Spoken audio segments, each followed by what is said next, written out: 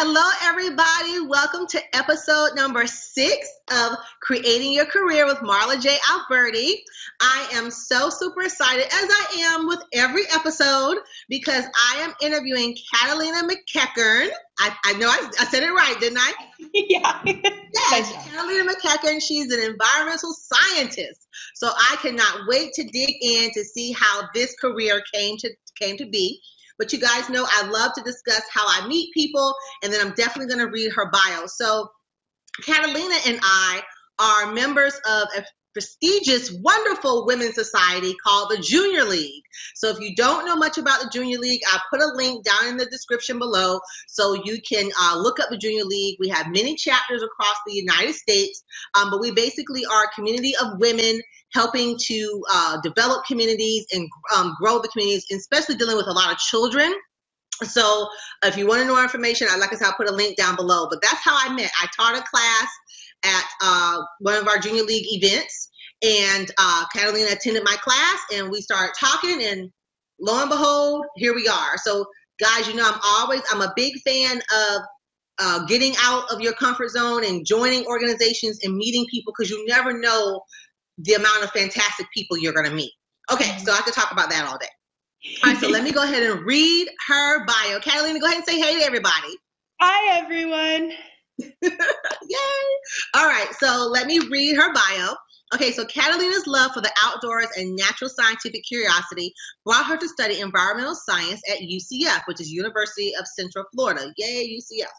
She began her career path interning for multiple government agencies, but moved on to the private sector after her graduation. Currently employed as an environmental scientist for the ecology department of Golder Associates, Catalina spends her time on a variety of projects where each workday is different from the last. I can only imagine. We're going to hear more about that. A large part of her project work deals with the gopher tortoise. So I can't wait to hear about that because we all love turtles. I have a turtle story. I, will tell you my turtle story, okay. which is a state threatened species, and with the or with the wetlands, a national protected resource. When she's not at work, you can find Catalina spending time with her precious pit bull mix, Gracie, or volunteering either with the Rotaract, which is another national society, the Junior League, or her sorority alumni group. Welcome, welcome, welcome, Catalina. Okay, so let's go ahead and get started. So, obviously, tell us a little bit about yourself, how you came to where you're at, and of course, we're going to get into the career stuff. But just give us a little bit of background about Catalina. Yeah, so I grew up on a ranch in California, about an hour outside of Yosemite. It was a wonderful childhood to live and um, spent a lot of time outdoors. So that's how hiking. Uh, I had a horse, had chickens, and then came to Jacksonville where I met you, Marla, because of my dad's from Jacksonville. So I moved here to be with my grandparents and that side of the family.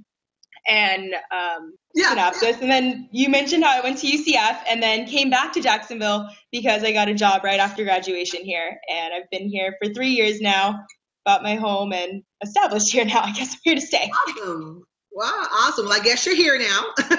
That's pretty neat. Growing up, growing up on a ranch. Wow, with all the animals, all the animals all around. So that's so. Would you say that's where your love for animals came uh, because you were surrounded by them? Yes, or? and my love to just be outdoors because we didn't have organized soccer or like yeah. I I couldn't really hang out with friends that were down the street because it was very rural. So I would spend time exploring our property and outside a lot, and that's how that all developed. Yeah. Okay, that's pretty cool. So that takes us right into the next question about your career. So tell us about your current career field. You're an environmental scientist. It's like that's like one of those titles you hear, like you hear it on the news or you're hear it, you'll read an article, but you'll never meet people that are that Yeah. So, so tell us about that. Tell us about being an environmental scientist. How did that come to be in your career field? So it was kind of a roundabout way. I entered college wanting to be in business and thought that'd be the most practical degree to study. Ended up hating it my first year. Mm-hmm. And I was lucky enough to know a professor from UF who taught biology. And he toured me at his lab, uh, the Whitney Lab in St. Augustine, and introduced me to a bunch of people there and kind of talked about the different ways that I could explore science as a career field. And oh, okay, Sorry, I got distracted. oh no, that's okay. That's okay. yeah, so that's how I decided to go into science. And then how I got to private consulting was kind of roundabout too. Was I always interned for government agencies. I interned for the Water Management District. I interned for Seminole County, which is close to UCF. Okay. And I also interned for the school. Okay. And so I before graduation, I thought I was going to work for the government too. Like I thought that's in science, that's what you do is work for the government. That's mm, okay. Okay. A professor, and I didn't want to be a professor. Those were the two realms that I had only known, but applying my dad met uh, environmental scientist at a private consulting firm in jacksonville she was out in the community leading a hike and he told me about the private sector of science that i hadn't heard about i applied i got the job and I am so grateful that I am in private consulting with science because I get to do something different every day. Whereas the government, it's you always do the same thing every day. So that's how I got to where I am. Wow, that, that's pretty cool. So let's backtrack a little because I like to recap so the audience can kind of understand what's going on. So basically, you started out, you went to school, um, mm-hmm. and you said, okay, and I, I noticed two things because, like I said, being as a trained coach, I, I listen for stuff. So you said that there's only two really jobs that you can do once you go into that science field. You can either be a mm-hmm. professor or you can work for the government, which I didn't know that. So basically, that kind of goes into the third question. You kind of re- you went in and you created your career. So you got with someone you know, then you talked to your dad, and then you got mm-hmm. introduced to someone else. Now you're in a different part. You're in a private sector, so you basically beat out the status quo and said, okay, I'm going to go do what I want to do. Mm-hmm. so how has it been? So tell us how, how are you creating your career? How has it been working for it's, it's um uh, Golder Associates. So what what does Golder Associates do and how has that been for you with your role? Yeah, I mean talking about creating your career, pursuing what I want to do, the projects, I have to talk to my boss and tell him, hey, I'm really interested in this field and doing more water sampling, for example, mm-hmm. and I would like to do more of that. So there's a lot of creating my career and uh, getting the proper training and seeking that out uh, to do different things so I can learn and explore. And I am always curious and love learning more. So that's that's one. Okay, and can you repeat that question again? What was more of? Did oh, I and, and well, I was no, you, you kind of answered because I was saying with well, what well, what does Golder and Associates do? Because when you hear Golder Associates, I wouldn't automatically think science. No, people think law. So because yeah, of yeah, I'm thinking law firm or some type of accounting firm. yeah, um, and it's really diverse too because we have three different, three or four different groups in our office that all do different things too. Okay. And me and ecology is really unique. And what we work with mostly is that the gopher tortoise that I discussed and sent you pictures of because people are really confused when I say that. Um, yeah, I'll put those in the link too. so for me personally, it's when someone wants to, it's Florida Power and Light mostly. If they want to build a solar farm, they have to call us and be like, hey, I want to do this work. What is the environmental stuff? Like they just don't even know. They're like, all right, tell us. Tell us everything environmental. Is it is it contaminated? Is there like toxins there? Okay which I don't deal with. A big part of our company deals with that stuff. And then what I deal with is is there protected species or wetlands, the protected resource there that we need to worry about. Okay. Okay. Interesting. So if I, me, a contractor, want to build something over here in this land or whatever, I need to come to Golder Associates and talk to you guys about building and finding out the environmental side because you're right people you, it's like you don't think about that stuff. You don't think about mm-hmm. when you're seeing all this construction going up they do have to talk to the environmental people to see how they can get everything put together and, and get the structure up. You don't yeah, you don't think about that stuff but mm-hmm. that, that's very interesting. It's very interesting. Tell me a little bit about the gopher tortoise. Like what is your work with that tortoise? What is your work with that particular um, species? And you said so, that it's also going to be extinct or going away. Yeah, so they're protected because the gopher tortoises, gopher, they build these burrows mm-hmm. that can be really deep and long. Um, in Central Florida, it's about 15 feet long, like 10 feet down, uh, going at a long slope. So they build these burrows, and a lot of other species use that as refuge. And they live there, and it provides uh, protection from the sun and the hot weather in Florida because it's really cool. It's down in the ground. It mm-hmm. also can help with breeding for frogs and mm-hmm. other and other species. So okay. So do the other species? I'm this is just me asking a sidebar question. do the other species get in the way of the of the turtles? So or? they they cohabitate. It's a mutual. Oh, they have a mutual understanding. that is so cool. So I told you I had a turtle story. My quick turtle story was uh, in the, my other house that I lived in. I mm-hmm. came outside. It was a big, gigantic turtle on my doorstep. He was just sitting there, and I oh. thought maybe he was dead, so I didn't mess with him. I'm like, oh my god, it's a turtle. He was like really this big, and I, he sat there for hours. So later oh. on in the afternoon, I went back out there. He was gone, and he left a big pile of poop on my. Oh. my doorstep, like on, on my doorstep. Like, so I guess number one, I guess he had to use the bathroom, and I guess he, uh-huh. and he picked my house to rest. So I'm like, there's my turtle story. but going back, I'm sorry, I can get sidetracked.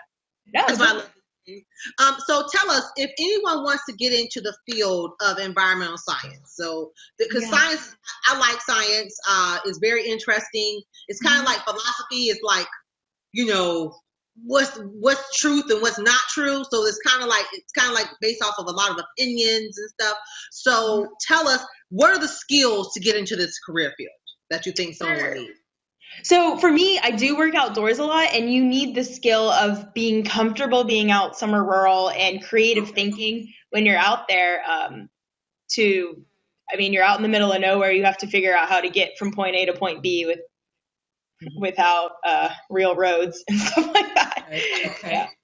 Um, but I, if if I would talk to someone young again, I would recommend that they seek out some internships because okay. that is how you really get to get an understanding. Like you could read about it, you could listen to wow. stories all day, but you need to be out there, outside, figuring out how you deal with the Florida heat, how you deal with plants and animals and um, bugs and all that fun stuff. But yeah, yeah. And talking about creating your career, a big pivotal moment for me was realizing that I didn't know. Like I had read and talked to the one professor, but I didn't know what went into the career, and I sought out the internships. Um, and really, there they were offering internships with the Water Management District in Palatka. It was an mm. hour from UCF, and I talked to my aunt, and she was from Palatka, and I was like, I, I want this internship in Palatka. And I she talked to her friend, and we ended up finding out that there was an office close close to UCF, only 20 minutes away, and I created that internship. They didn't advertise it; it was just calling and working mm. around and just saying, "I'm willing to free labor. Just take me out there." And yeah. that's how that happened. Yeah. Oh my God. So again, there's always a theme to every single show that I do. What you just said was key.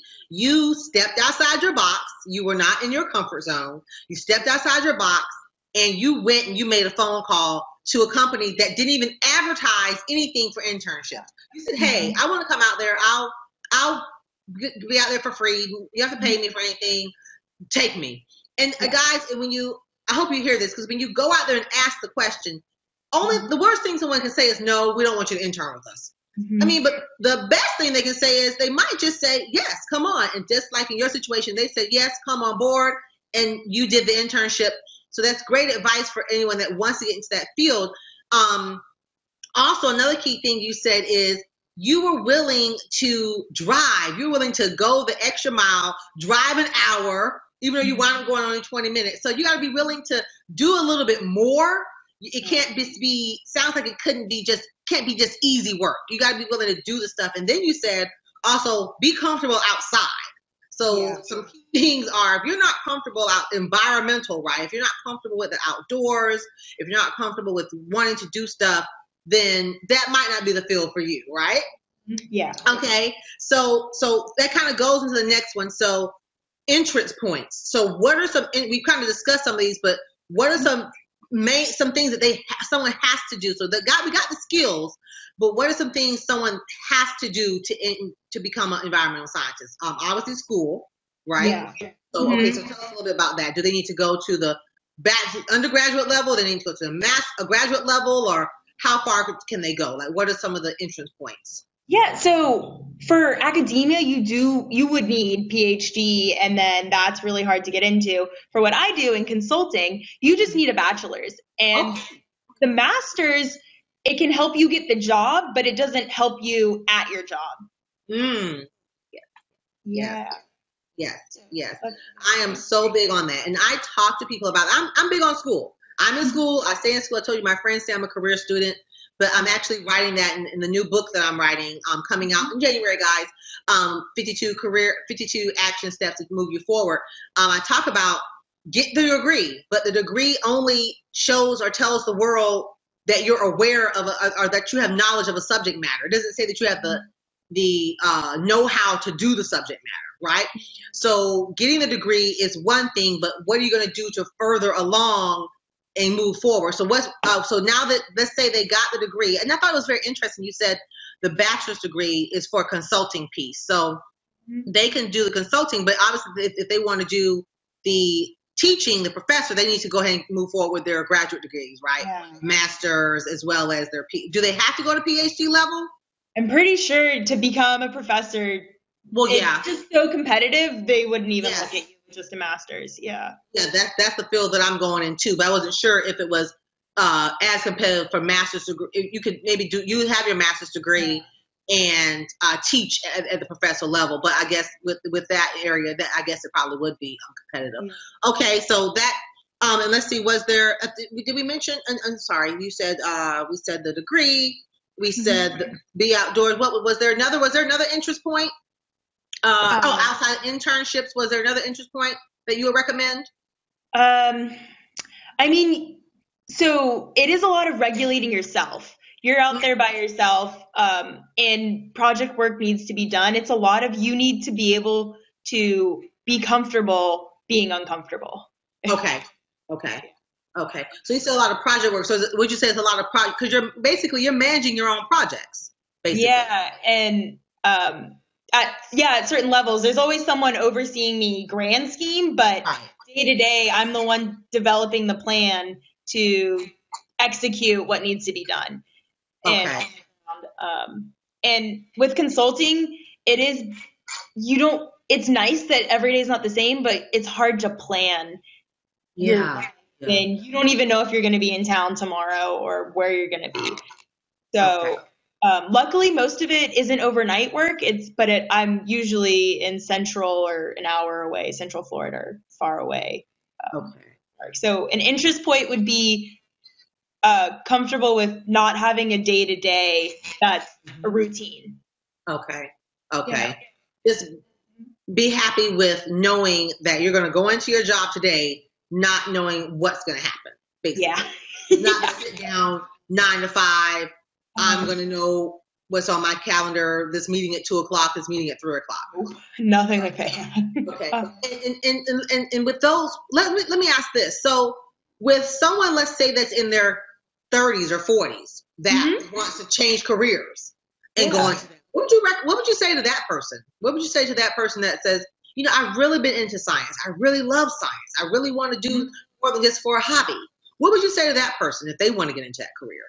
So if they were comfortable with every day being different, consulting is great. If they want it to be the same in a set schedule, government, uh, Okay. what I would suggest. So I would suggest to them figuring out what they want so that they have their set expectations and then they can go in and shadow. I would like setting up, you wouldn't, not necessarily internships like I did where you go in every day, but shadow. Definitely shadow someone and um, figure out what what that's like because you don't know if you're comfortable with that until you actually do it. Right. And then you don't know what, like you say, every day is different. So you don't know what you're going to be working on. It may not necessarily, because could you work, is it possible you could work with many different species? You may not just work with one. Yeah. Yeah, you could work with many different species. And I, and, and I, honey, Catalina, I congratulate you for doing this. I, I couldn't do it.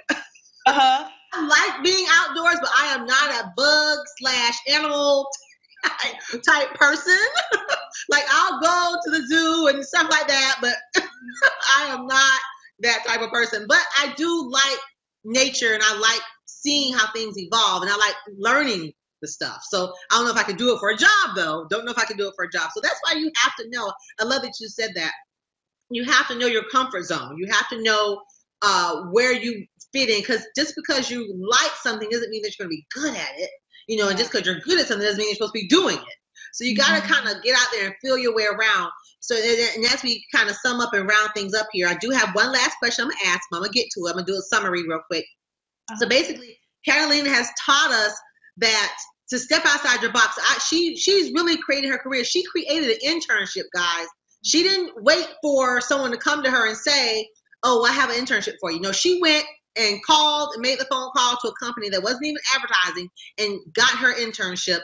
She spoke to different people and now she's doing something on the side, which is not the norm. The norm is professor, right? Or the norm is government. No, she's doing consulting. Now she's working in a great company, creating her schedule, doing what she wants to do. So this is what we talk about, guys, with creating your career. Are there any, um, before I get to that last fun question, are there any last minute points or things that you wanted to give the audience um, about being an environmental scientist and what they can do? Okay, so a big part of consulting is the business aspect of it and networking. Yeah. And that's that's something that I really enjoy and it's fun in the client relations mm-hmm. that is not science related. Like there is a little bit of business related in consulting, and that's what I love. You're right because we've been talking about consulting. We haven't mentioned anything about business, right? Because that's what consulting is. That is the that is the business side. So, so you do you do a little bit of that or no? You do a little bit of the, the business side of it. A little bit of like keeping the client relations, and that's something that I want to learn more about project management and invoicing and you know that kind of thinking that doesn't come natural to scientists and that's not something we study with our bachelor's degree and right. I love to learn more about. Yeah. Okay, cool. All this has been so awesome, guys. I have learned um, I've just been enlightened. Seriously, I've learned so much in this session, guys. I hope you have been taking notes like I was. So, Catalina, I ask a fun question every single time. So, the fun question is tell us something that the world that you want to share that the world may not know about you. Okay, they may not know about me. Um, let's see. I know I knew that this one was going to be hard, um, and I love the ones that all the other interview people have brought up. And let's see that they may not know about me. Um, oh, I am a big knowledge seeker. I am someone who is. I have just found out about these apps to listen to audiobooks and you check them out with your library card. I am always listening to podcasts, always I'm a big knowledge seeker, so not everyone knows this until they get me started on it. But if you want a list of books to read or podcasts to listen to or YouTube channels, I have your back and I can like give you way more than you want to learn about. Yeah, so that's something. Is there a particular area that you like to listen? Because I'm the same way too. I'm list. I'm I listen to podcasts all day long. Gary Vee is one of my favorites. Evan Carmichael is another one of my favorites. I listen to them all day long, um, all day. Mm-hmm. So, are there any of your favorites that you want to mention? So are those motivational ones, or are they uh, those, are those are entrepreneurial, and ma- mo- those, are, those are mainly entrepreneurial. Okay. Not motivation. Yeah, those definitely Gary Vee and Evan Carmichael are entrepreneurial ones. Yeah. Okay. Um, ones that the podcasts I've been loving are finance podcasts. Okay. Just because when you own your money, you can really and take control of your money. You that opens so many more options for your life and mm-hmm. your career. You're able to enjoy work because you're not stressed about making ends meet. Yes. So to be outside and enjoy it because I'm not worried about making sure that I have everything taken care of at home financially. yeah. Awesome, awesome. Well, I I understand. It's it's it's. Um, I always tell people, I always tell my clients to take the Strength Finders test, and it gives you those five strengths. And one of my strengths is the intellectual, and the intellectual is the person that loves to seek knowledge. Like we just like to collect knowledge and just you know just let it sit there. That's me. I love. I mean, I like using it too. I use the knowledge when I can, you know. But um, I love I just love listening to podcasts, reading books, and I like to know stuff. I'm just nosy. That's why I, that's why I am. Yeah. So, guys, if you have any questions or concerns for Catalina, she's going to leave us her information. But go ahead. Did, did you want to leave your email or is there a number that if anyone wants to call you or maybe email and ask you any questions, did you want to go ahead and st- tell the audience that? Um, you could leave my work email there. Um, Okay. That'll be great. And then, um, yeah, I think that's a great way to. I check my email. I have to answer it and be on top of it. So Okay. All right. So cool. I will leave Catalina's email and information down in the links below, guys. Don't forget to subscribe. Look for a new episode next month, 2018. This is the first episode of. Uh, well, have the next episode coming out. Um, January. This is the first one. So super excited. We're gonna be moving into the new year. Big things happening. So so glad, Catalina. Thank you so much. This was an awesome interview. And Thank bye, you. everybody.